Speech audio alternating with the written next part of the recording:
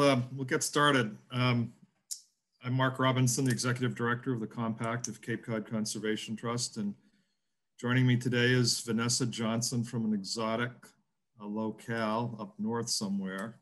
Can you wave? Hi, hi Vanessa. and um, we're gonna tag team this a little bit. I'm gonna start off uh, with a little background and then uh, Vanessa will walk us through um, the actual process of, of conservation restrictions. I noticed that in our workshop, some of our attendees are either uh, practicing attorneys or recovering attorneys. They know who they are. Um, neither Vanessa nor I are attorneys, but we are seasoned practitioners in the art of conservation restrictions. Um, and I'm very glad that you signed up to join us. I realize this is not a particularly um, glamorous topic in the field of land conservation, but I would argue that it's one of the most versatile and um, when you've been in the business as long as I have, you accumulate war stories. So here's one. Uh, I was 28 years old. I had just started working for the Compact, and I was helping a number of the Lower Cape land trusts um, reach out to landowners and figure out ways to preserve their land. And up until that time, um, everything had just been donated. Occasionally, somebody would help a land trust buy something, but most lands were coming in as pure donations. This was in the 1970s and 80s, early 80s. And I started on the job and I said, well, I, you know, I think maybe we should start broadening our toolbox and use these things called conservation restrictions, which I was becoming familiar with. And um, so I started talking to landowners. Well, lo and behold, there was a Lower Cape attorney who is now deceased, um, who was doing an awful lot of pro bono work for the local land trusts.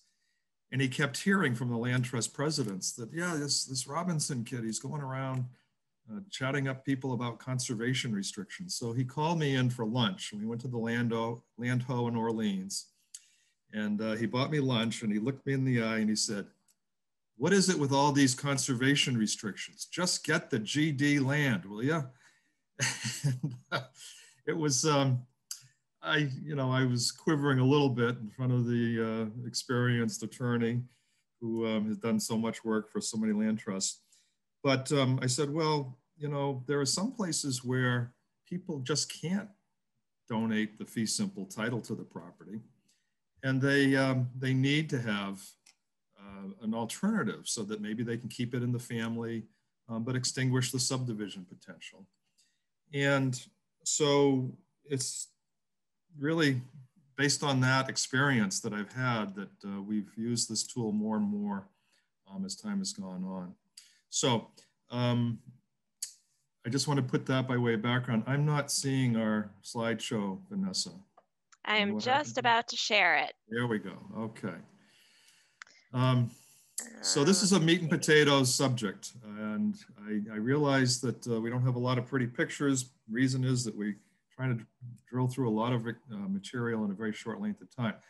I'm not going to read this. I want you to understand that there is a starting point for conservation restrictions. It was based in the, the common law where people have the ability to restrict their property, typically for the benefit of an adjoining property. Conservation restrictions um, in Massachusetts date to 1969, where the legislature passed a, a, statute, the Conservation Restriction Act, and it defined a conservation restriction. You'll see the definition here. That definition has been broadened to include other types of permanent restrictions, um, but that statutory restriction is a very important part of this process. It means that you can encumber a piece of land with a development restriction that lasts in perpetuity because it has the approval of both the town and the state in Massachusetts through the town selectmen, the city council, um, but also the Secretary of Energy and Environmental Affairs. And that's a very important um, approval process that no other state has. Other states use something called the Uniform Conservation Easement Act or, or versions of it, which was incorporated um, by a number of attorneys nationwide in 1981, amended various times, most recently, I think in 2007. And so those are, um, it's, a, it's a model uh, piece of legislation that, that uh, different states can use, but nobody has this kind of local and state approval that Massachusetts has. Most groups call, most states call it a conservation easement. Massachusetts has to be different. We call it a conservation restriction. But the intent is the same, to bind a piece of land in perpetuity and have some benefit of the, uh, of the, of the law behind it um, so that you can make the restriction run with the land down through time. Next. Sorry, give me a second. there we go. So as I mentioned before, um, although it's much cleaner and neater and easier to do a two-person transaction between the land trust and the landowner to get the title to it, to a piece of property, um, in some cases that just won't work. And if you want to preserve a piece of land, this is a very flexible tool to use in many different situations. Um, it's not a common law deed restriction. A common law deed restriction would be something like I sell you the lot next to my house um, but I put restrictions on it that you can't have a pool or a tennis court. That would be a common law deed restriction between uh, two adjoining landowners. And it would only run in Massachusetts for 30 years unless I re-recorded it. Um, it's not being done in the public interest, it's just to serve a private purpose. But a conservation restriction is in the public interest. Um, in gross means that you do not have to own adjoining land to have the benefit of a conservation restriction. That's why a land trust uh, can hold restrictions on private properties or town properties where they don't own adjoining land or pertinent land. And we can use this tool also to bind not only private property, but public land. Um, and you'll see as we go on that a number of the new state programs, such as the Conservation Land Tax Credit Program, requires uh, an outside entity to hold a conservation restriction as an overlay protection for the, uh, for the property being purchased for conservation. Although the state statute does allow for temporary conservation restrictions, we don't see many of those nowadays.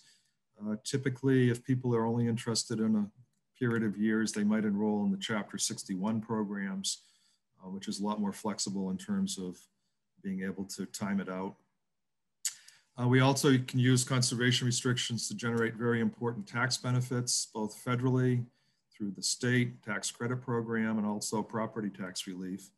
Um, but sometimes that's not the most important thing. Sometimes it's being done for a, to secure a permit through a regulatory process or other reasons why there wouldn't be tax uh, benefits associated with it.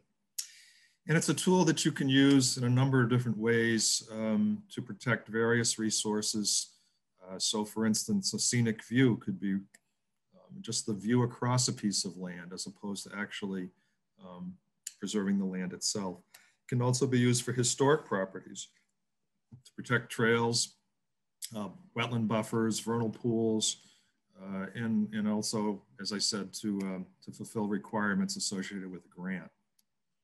Next.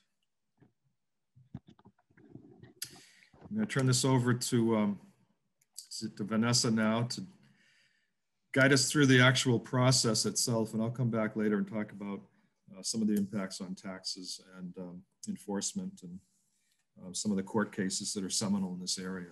Vanessa?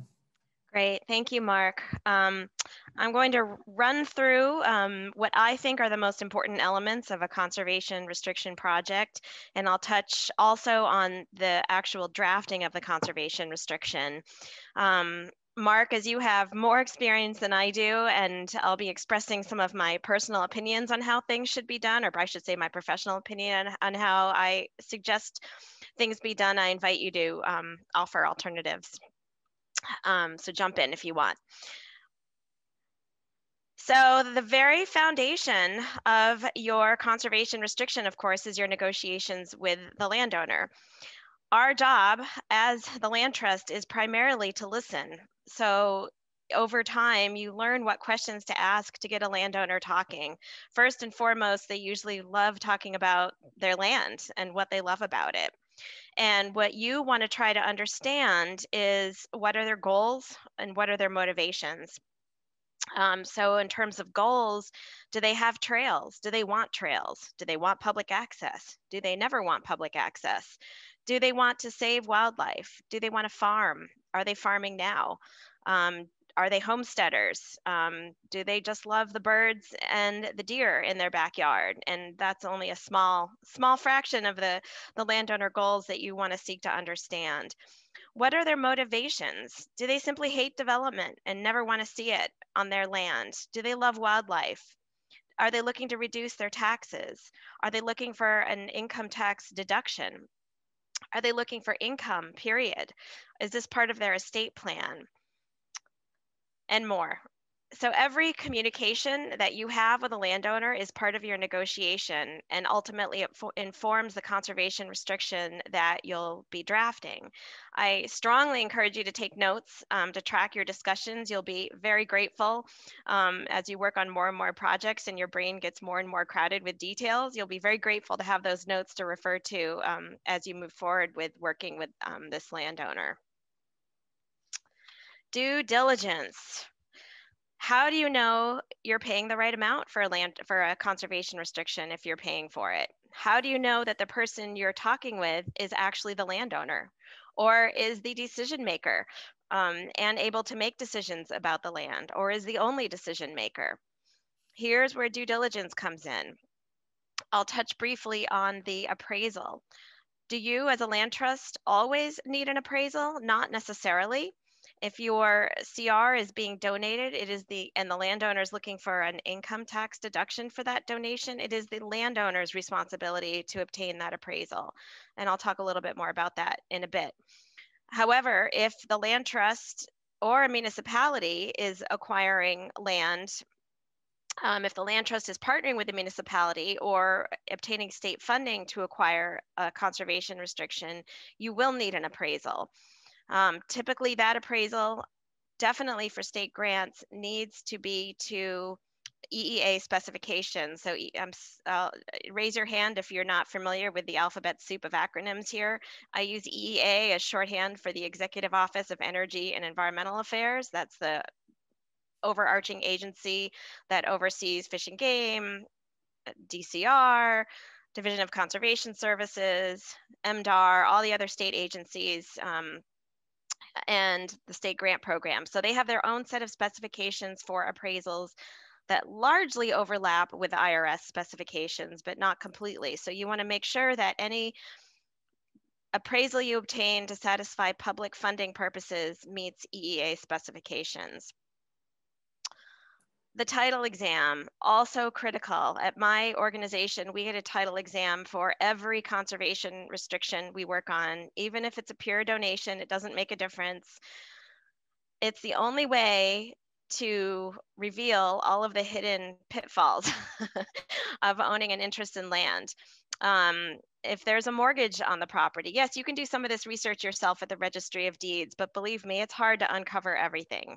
So if there's a mortgage on the property that mortgage will need to be subordinated to the conservation restriction. Otherwise, it can actually, if the bank ever foreclosed on that mortgage, the conservation restriction could go away. So the only way to make sure that conservation restriction is permanent is to get that mortgage subordination.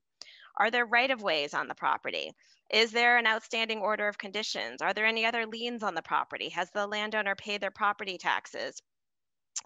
Um, are you even dealing with the landowner? If it's a trust um, that, that owns the property, you want to make sure you want you know who all the trustees are and who has the authority to sign on the behalf of the trust. Same with an LLC.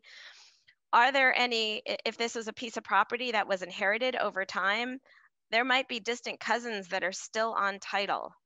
So the, all of that needs to be taken care of early in the process. You want to do your title exam early in the process so you have plenty of time to work with the landowner to remedy these title defects before you go to record the conservation restriction. So I'm only going to touch on funding um, and, and only in the context of how that impacts your, your conservation restriction drafting. Typically, the CR itself has to reference any public funding that you're getting and possibly even federal funding I'm not as experienced with federal grants, but um, the ones I have worked on, you do have to acknowledge those in the CR, and sometimes they have specific language they want you to include. Um, if you are a town or if you are working with a town uh, with CPA funds or any other town funding, you need to include a certified copy of that town meeting vote as an exhibit to the conservation restriction. So that shows the authority of the town um, to acquire an interest in land. Um, what do your funders care about? if you applied for a state grant, typically those state grants require public access. So you want to make sure your conservation restriction allows or grants public access. Um, if you applied for a drinking water supply grant through the state, you want to make sure your conservation restriction is protecting that drinking water supply. Um, typically, these agencies have a have a um, a role in reviewing the CR, so they'll they'll catch you if you haven't. But these are things that you want front um, front and center in your mind as you're negotiating and drafting the conservation um, restriction.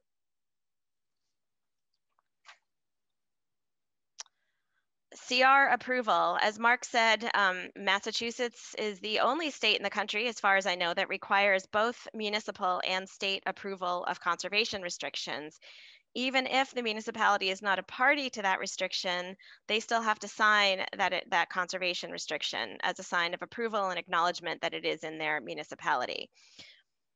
In Massachusetts, your main point of contact with the state is going to be um, our CR reviewer, John Joya. Um, he is outstanding to work with. He is experienced and he is on top of what's happening nationwide with conservation restriction language. He works for the Division of Conservation Services at EEA. He is the, once you've drafted the CR and negotiated it with the landowner, John is the person you work with to get it reviewed by the state. And you cannot proceed with signatures until you have a letter from John that gives you the authority to proceed with signatures. So that is your first step. Then you can, once you have that letter in your hands, you can proceed with getting the land trust and the landowner and town signatures. In the town, typically it's the selectmen, or if it's a city, it's the mayor and city council that have to sign that conservation restriction. If the town is a co-holder or a holder of the conservation restriction um, under the care, custody, and control of the CONSCOM, typically, then the Conservation Commission also needs to sign that conservation restriction some towns like the Conservation Commission to review and approve the, the CR, even if they're not signing the CR. Um, so that depends on the town you're working with. That is not an EEA requirement, but typically before I go to the Board of Selectmen, I'll bring the CR to the CONSCOM and ask them to make a vote of recommendation that it be signed by the selectmen. But again, that depends on the town you're working with. And then the Secretary of EEA right now it's Kathleen Theo Theoharides. The Secretary of EEA signs last. She will not sign unless you've received all the other signatures. And John Joya has been great in um, facilitating the, all of that electronically. So, but again, he's he and Denise Perez, who is his outstanding assistant who works in his office, are the primary folks he'll be working with on that. Baseline documentation report and monitoring. These are worthy of an entire day workshop. So I'm not going to go into detail on these. I strongly encourage you to take advantage of the annual Mass Land Trust Conference of LTA's um, annual rally and also LTA webinars and any other training you can get on how to do baseline documentation reports and, and the protocols for monitoring. LTA's standard and practices is also a good place to, to go for that. Very briefly, the baseline documentation report documents the state of the property in both photographs and narrative at the time that the conservation restriction goes in place. The baseline report is in particular documenting those conservation values that you're protecting in the, the conservation restriction. Monitoring is the land trusts or the, the CR holders, I should say. I'm assuming everyone on this call is with a land trust, and that's not a good assumption. Monitoring is the CR's holders' obligation in holding that CR. If you hold a CR, it is your obligation to enforce that CR forever. So typically that means annual monitoring. Some land trusts, including mine, monitor some properties every other year if that's appropriate. Um, I think LTA standards and practices recommends every year. Um, but both the baseline documentation report and monitoring are the typically the responsibility of the holder of that conservation restriction. Federal income tax deduction documentation. I mentioned earlier that if a landowner is donating or a conservation restriction or doing a bargain sale of a conservation restriction, that they are responsible for obtaining the appraisal that they submit to the IRS to document that um, charitable contribution. The land trust's role or the CR holder's role, if it's a if it's another entity, is to hit the IRS over the head with what the conservation values are that you're preserving. You do not want to make them guess. How do you do this? One is the baseline documentation report. It is strongly suggested that landowners submit a copy of the baseline documentation report to the IRS. This is not required by the IRS, but again, the landowner it wants to be hitting the IRS over the head with the conservation purposes that they are protecting through the CR, and that renders them eligible for this income tax deduction. So we always give landowners two copies of the baseline report for this reason supplemental statement. This is um, it can be as many pages as you like. It's it's reiterating the conservation values that the CR is protecting. Yes, I know that this is generally in the baseline report and it is in the conservation restriction, but again, you want to be hitting the IRS over the head with these conservation values. So that's that's the intent of the supplemental statement. It's saying here are the public benefits and the conservation values that are being protected by this conservation restriction the acknowledgement letter. This is basically the letter you get from any organization when you make a donation to them, whether it's a car, cash, or a conservation restriction. So this is a letter that comes from the, the, the conservation restriction holder that attests to your receipt of the interest in land um, and attests that the landowner did not get any uh, um, private benefit in exchange for that.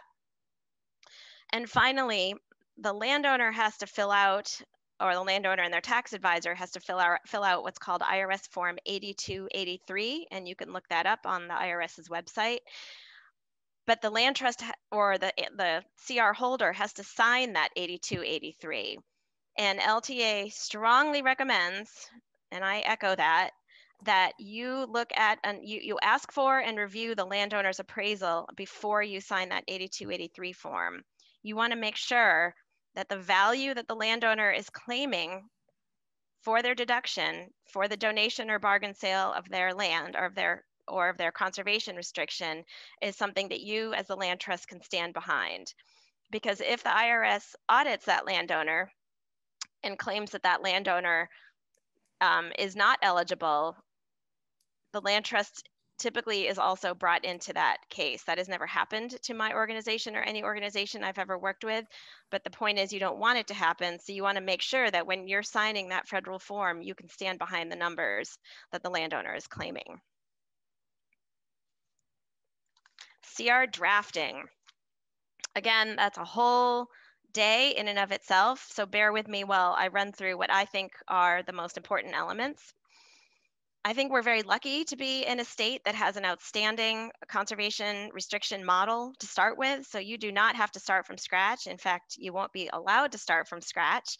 Um, you are required to use this model, which you can download from the state's um, Conservation Restriction Review Program website. It is in the process of being updated, but for the time being, um, this is the model that you are to use. Um, this website also has a link to um, not only to download the CR, but to download the CR application form that you have to submit. When you submit that CR to John Joya and Denise for review, you have to submit the application along with it. Here's where you download that.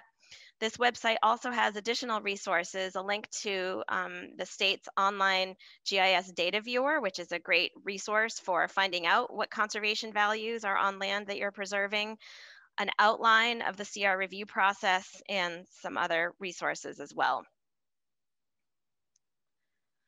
This is a look at the first page of the conservation restriction.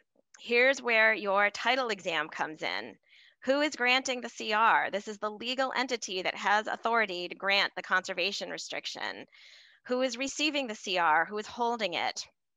And all of the entities, whether it's a land trust, a land trust and a municipality. I'm working on one right now where it's DCR and two municipalities that are going to, is that a tri hold of a conservation restriction? So this is where that is all defined.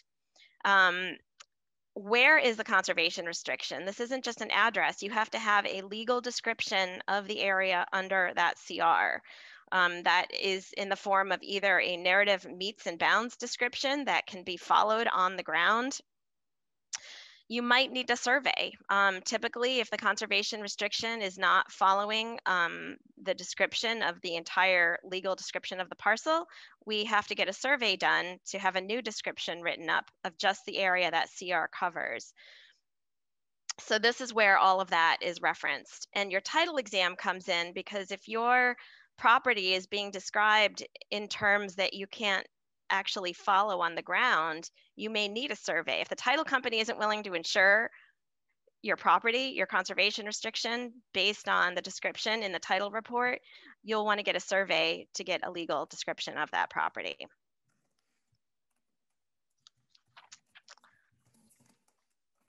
Then we get to the purposes section. This is where you define the conservation values that the conservation restriction is protecting. And this is where, if your landowner is claiming a charitable income tax deduction for IRS purposes, you want to be crystal clear that the conservation purposes, that, that your, your conservation restriction passes the conservation purposes test. So you want to be very clear that um, what the conservation values are on the property you're preserving, and um, and to the extent possible mirror the language that's in the IRS regulations if it's a tax deductible CR. If there is any public funding, typically that goes in this section as well, some reference to that public funding. Um, in the future, if there are ever any questions about what is allowed in the conservation restriction, the purposes helps to guide um, guide future conservation restriction monitors through that ambiguity. So the purposes are also really important for saying, at the end of the day, here's what needs to be preserved on this property.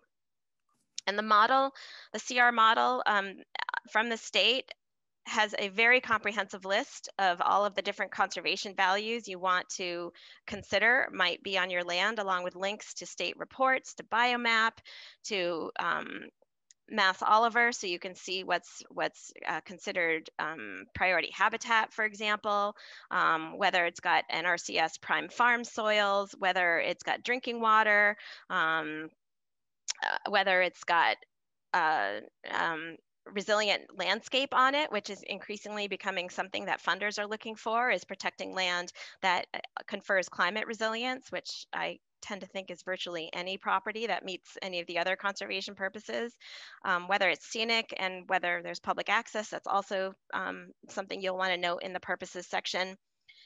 And I want to emphasize that your conservation purposes must be specific to the site you're talking about. So don't say that the premises is protecting a stream. You want to say that the conservation restrictions are, are protecting the Parker River, and the Parker River has been designated a scenic river by X agency. So you want to be as specific as possible to the property that you're preserving. If it's in an area of critical environmental concern, you want to mention that. So you want to be specific to the site. You want to be as descriptive as possible. You want to cite reports, um, studies, designations, and do not worry about repetition. Obviously, if you're protecting drinking water, you're probably protecting habitat. If you're protecting priority habitat, you're probably protecting biomap 2 core habitat. It doesn't matter. Repeat, repeat, repeat. The overlap is good. Remember, you want to hit the IRS over the head with what the conservation purposes are and um, by the way, if you're also, if your landowner is also applying for a conservation land tax credit, you want to make these um, conservation values as clear as possible as well. So the next section, section two, is what I sort of consider the meat of a conservation restriction. It's called the prohibited acts and uses, the exceptions to the prohibited uses, and the permitted uses. So section A is the prohibited uses. You've probably heard of the bundle of sticks analogy when you acquire a piece of land. Owning land is like owning a bundle of sticks where each stick is a right for you to do something on your land. Section A of this section generally takes all those sticks and burns them, throws them all away. So you don't generally touch this section. This is what I call one of the boilerplate sections of the CA, CR that you generally do not edit because it's stripping away every right in that piece of land that the owner has. Section two, the reserved rights and exceptions, is where all the exceptions to section A go. So in section A, you don't need to say, you know, you can't cut trees except to do vegetation management for habitat. All of that goes in section B. So here's where you're giving back some of those sticks to the landowner. Um, this is where you want to obviously remember the conservation purposes. Is there a stream running through the property? If so, you want to make sure that any permitted use protects that stream. So you might want to make sure that there are adequate buffers around that stream to protect that the water quality from whatever permitted activity you're allowing. One way to do this, and we do this a lot in our conservation restrictions, is to rely on outside experts to set limits. We are not foresters. We are not um, farmers. We are, a lot of us aren't even ecologists. We're generalists. And so we rely on um, impartial experts to set the limits on the activities that can happen. If there's farming on the property, we generally require a farm plan. If there's forestry on the property, the state actually requires that the landowner get a DCR forest management or stewardship plan, or sorry, it's forest stewardship or cutting plan, I think is what they're called. Um, if there are trails on the property, you can reference the DCR Trails Guidebook. There's the Massachusetts Native Plant Society and, and um, organizations like that that keep lists of invasive species as well to reference. Um, if you want to limit chemical use on a farm, you could reference USDA organic, although that comes with a whole other um, list of questions. Um, so use these outside um, best management practices to limit what the reserved rights are um, so that you can be sure that whatever's happening on the property is still going to preserve the conservation values that you're trying to protect. Um, going back to your conversations with the landowner, you want to thoroughly understand how they're currently using the land, and that means year round. Um, if you're visiting a property in the middle of the summer, you might not know that in the winter they flood an area of it for a local um, a hockey pond. You see that a lot in, in my part of the world, or that maybe um, on the public trail, um, this probably doesn't apply as much to Cape Cod, but maybe there's a public trail on the property in the winter, snowmobilers use that. So one, do you want to continue allowing that? Two, if you decide snowmobile use doesn't impact the conservation values you're protecting, you want to make sure the CR allows that. So you want to thoroughly understand the current uses year round. We're actually working on a conservation restriction property right now where the landowner is a super super science nerd and he puts on this phenomenal laser light show for free every christmas so every december from friday friday saturday and um, friday and saturday nights from dark until nine he has this phenomenal laser show to music um, that is free. And so people just drive up the driveway, can tune into his radio station where he has the music and the laser light show cue to it. It has absolutely no impact on the conservation values at all. But for the first time ever, one of our reserved rights is for the landowner to continue doing a laser light show. So you never know. Ask lots of questions. Ask about the intended future uses of the property um, not only with the current landowner, landowner um, but with future landowners, if they know who they're going to be, if it's going to be their kids, do they, do the kid, does the one of the children want to be able to build a house in case, in that, in which case you'll want to leave out some land, ideally for that home, or maybe you want to leave that in the CR as a building envelope so you can limit the size of the house. And um, either way, you'll need to decide where that house is going to go you want to anticipate future uses of future landowners. Are there new trails that will maybe need to be built? Or will those trails need to be relocated? Are there new structures that a landowner might want on the property? Um, will they want more run in shelters, more fencing? Will they want to clear additional land for farmland or for a meadow for habitat? Um, will they want to expand existing structures? So you want to build in flexibility and adapt adaptability into the CR and give your stewardship department the ability to approve the unanticipated. So we actually have what we call a catch-all paragraph in our CR that allows us to approve additional unanticipated reserved rights provided, and we have sole um, ability to do this, exclusive ability to do this, provided we feel comfortable that these additional reserved rights are not going to impair the conservation value. So um, we feel that's very important to give that future flexibility. Clarity. You do not want to make future land trust or municipal staff, whoever's in charge of monitoring the CR, you do not want to make them guess what you meant. So be clear. Have other people read your draft conservation restriction. And I mean ideally your stewardship staff. So we we have our stewardship staff read our conservation restrictions because if they don't understand what I'm trying to say now, future stewardship staff are not going to understand what that conservation is supposed to mean. Conservation um, restriction language is supposed to mean. I wouldn't necessarily rely on the landowner, although they obviously better be reading their CR too and trying to understand what it means because it's a legal document and landowners will sometimes just glaze over things or they'll trust us.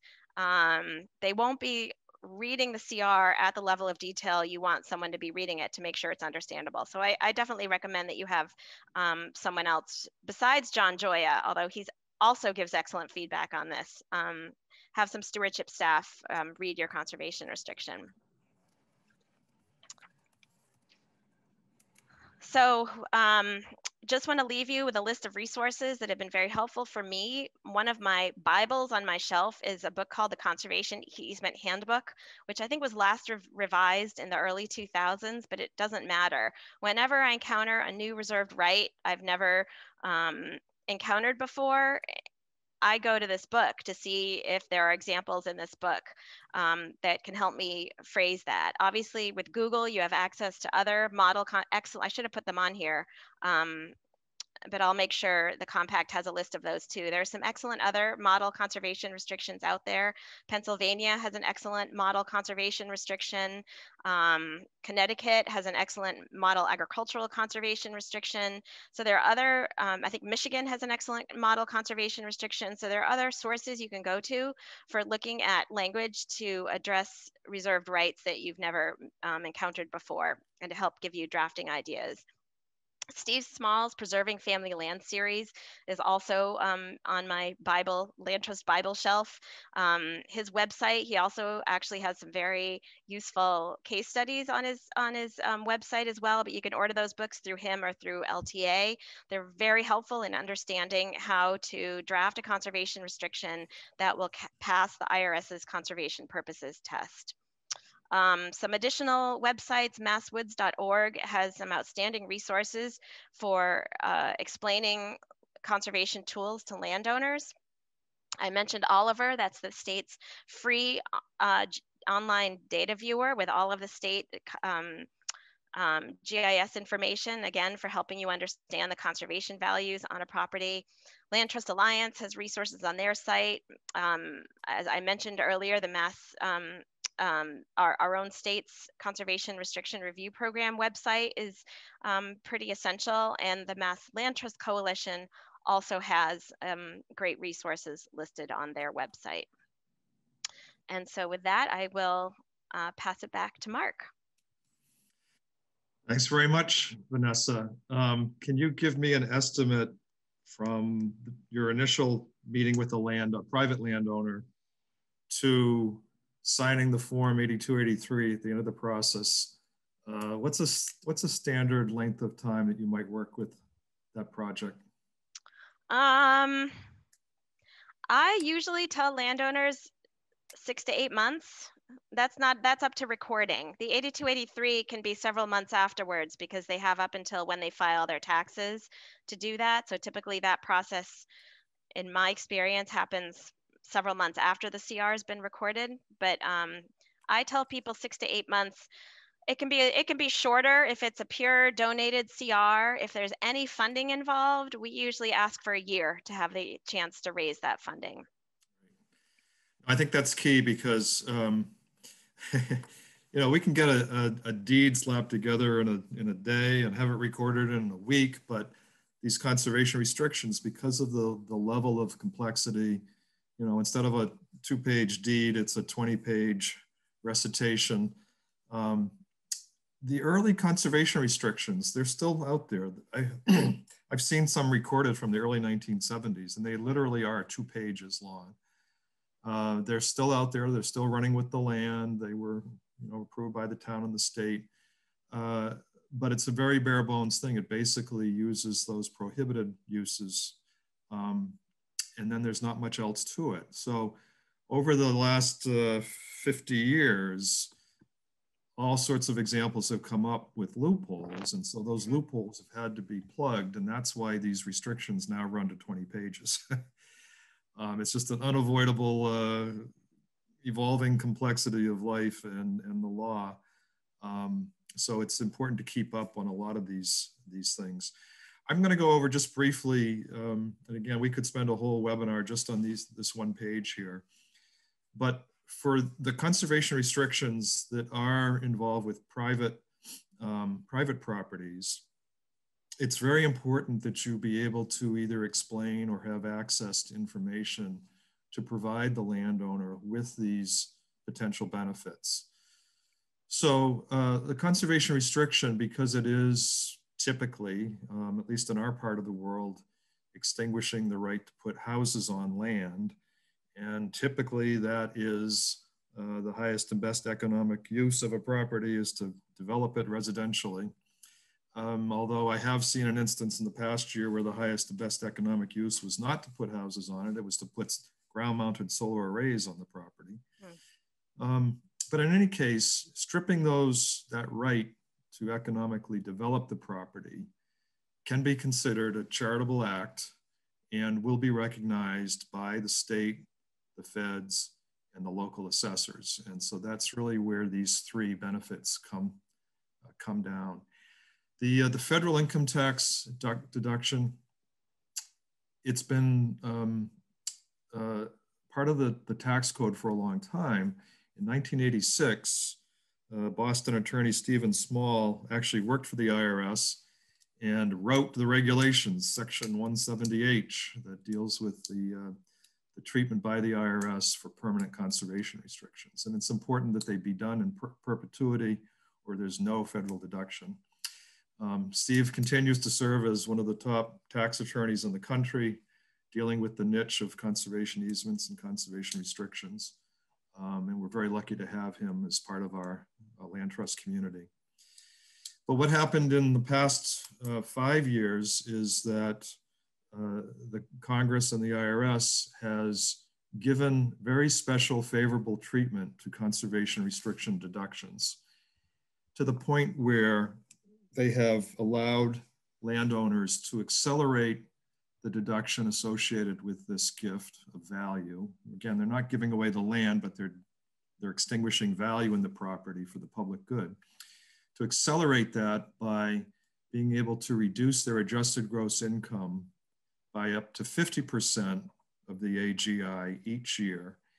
And they've extended the deduction. So instead of typically we have a six year period, the year of the gift plus a five year carry forward, uh, with the conservation restriction, the deduction can be spread out over the year of the deduction plus an additional 15 years, so 16 years.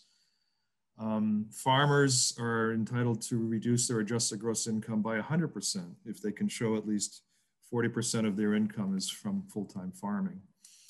So um, it's a very powerful tool. In fact, you could say, well, why do conservation restrictions get special treatment as opposed to a fee simple or outright title donation for conservation?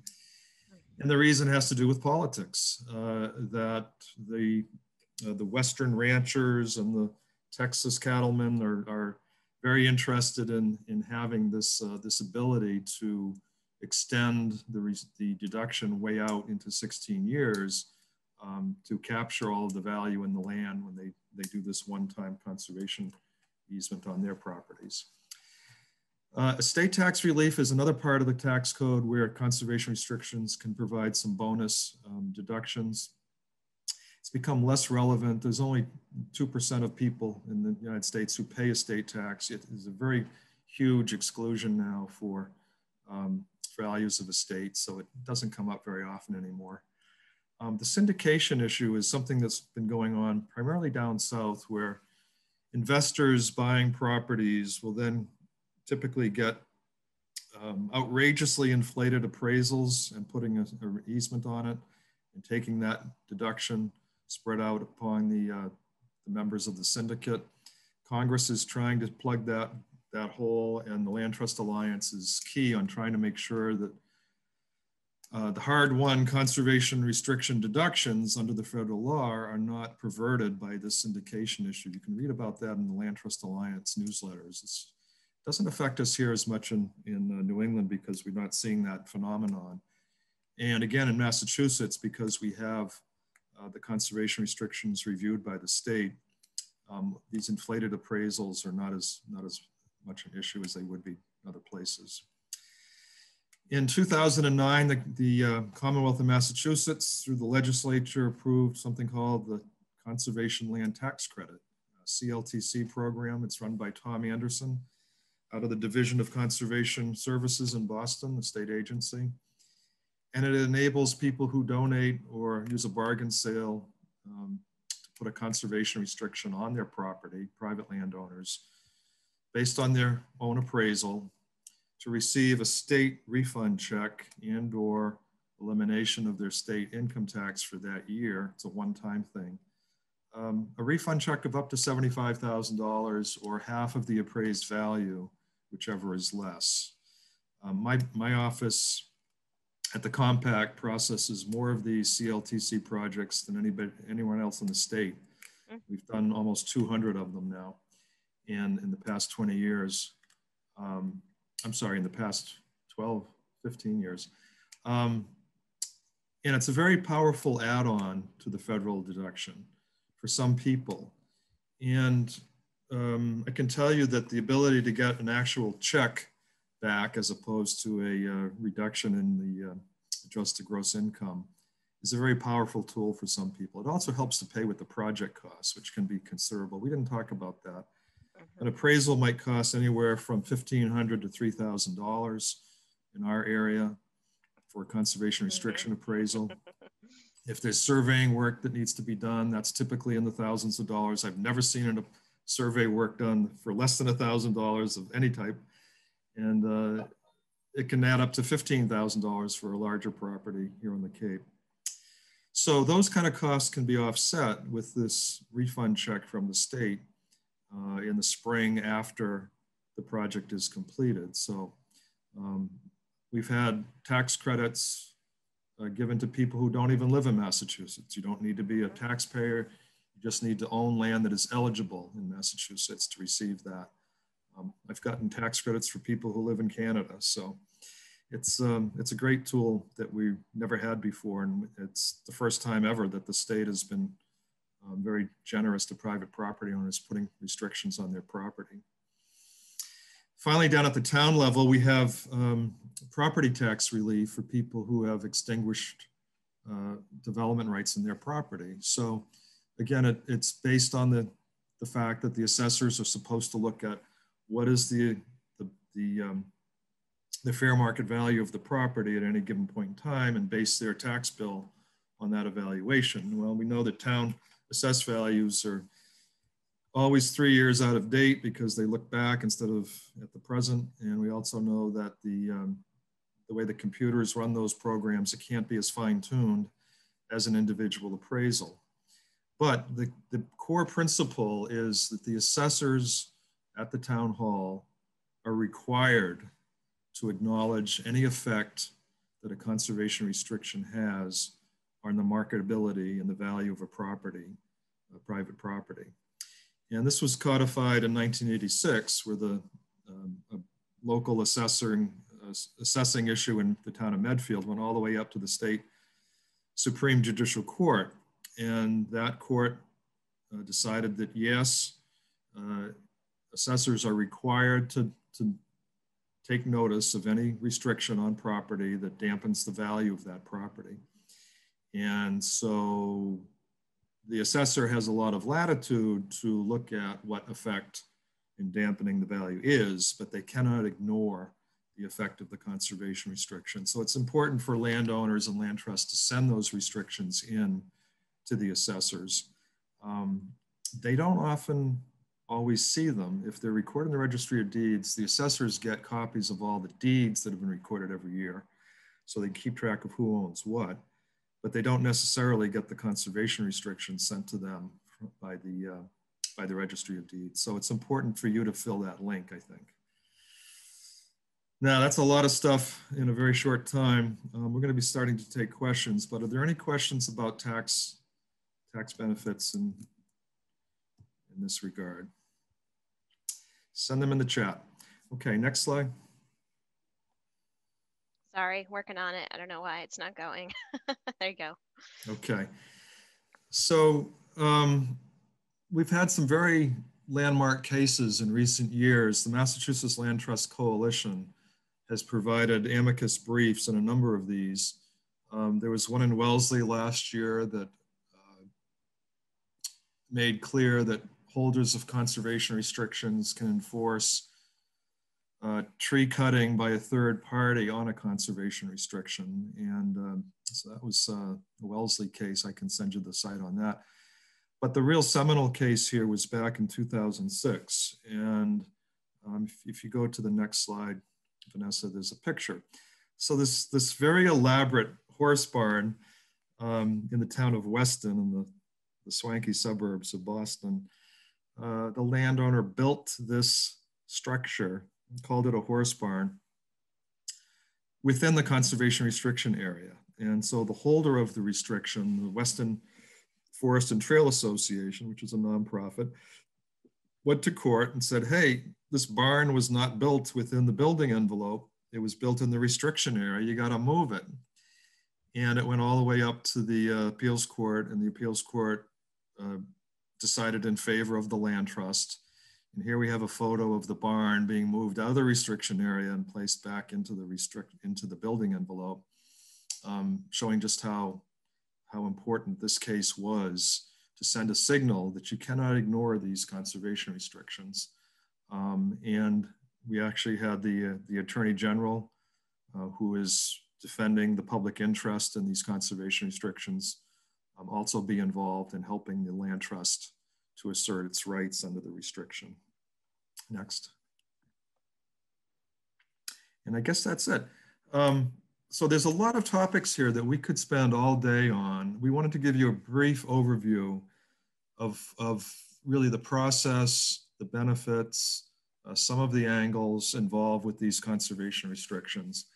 Um, there's a whole lot more to learn.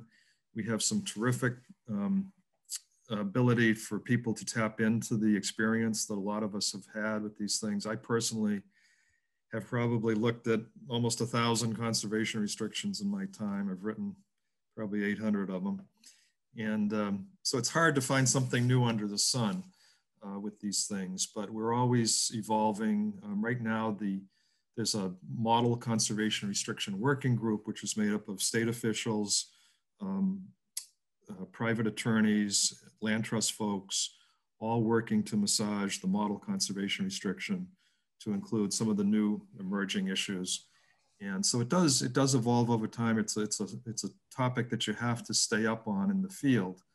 Um, but I really encourage some of the younger folks in this land trust community to, um, to get yourselves involved in this because it's a tool that has a lot of flexibility. We use it a lot of different ways and um, happy to provide advice for, for anybody that, that would like it. I guess I'm going to be reading the chat. Um, let's see. I'm just going to interrupt you and say we have some questions from. Oh, Carol. okay, Lily, would you like to drive that part for us? Yes, Carol, do you mind unmuting yourself and asking your questions of Vanessa and Mark, please?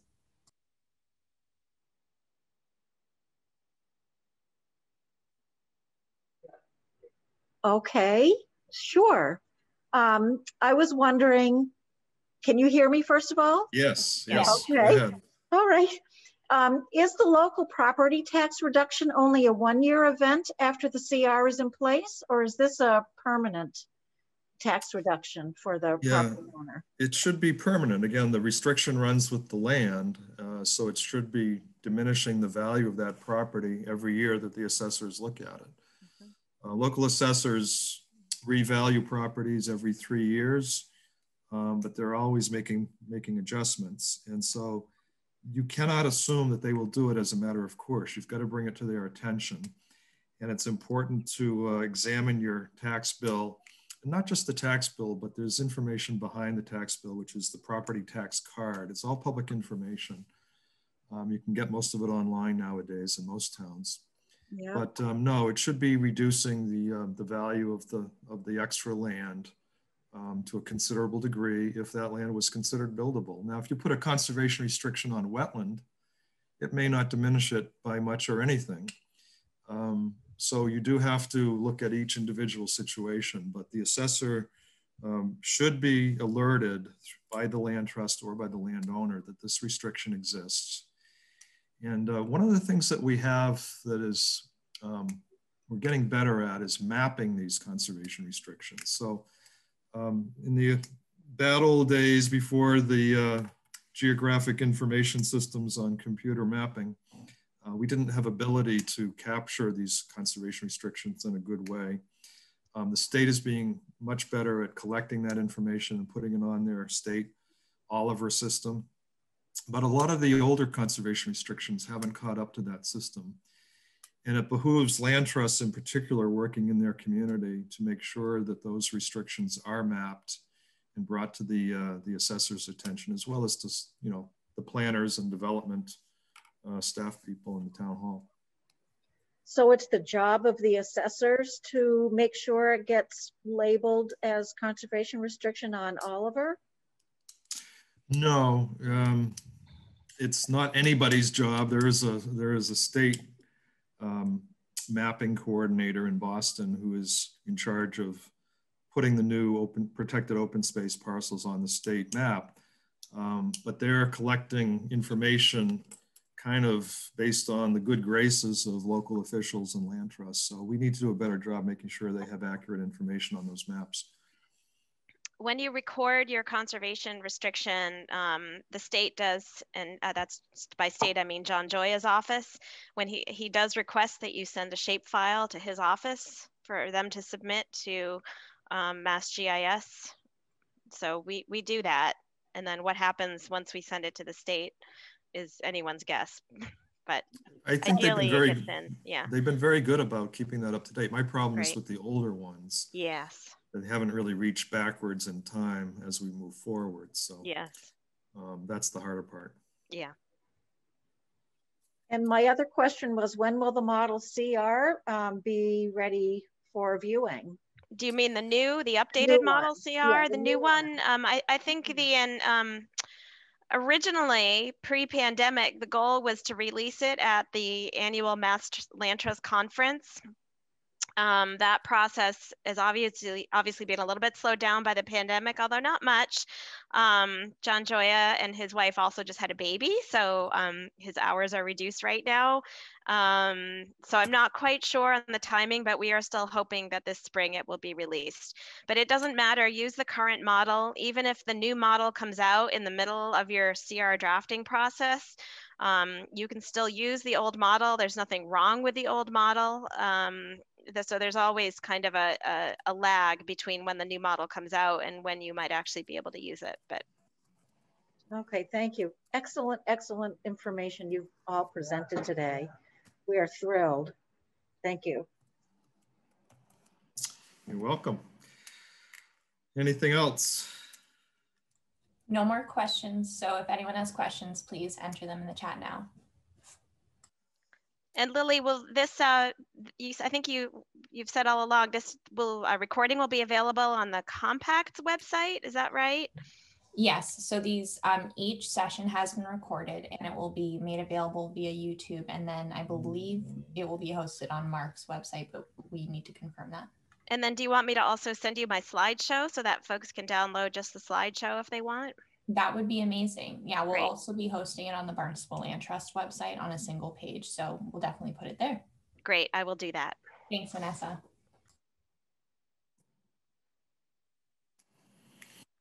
Well, thank you everyone for attending and um, looks like the sun has come out, at least where I am.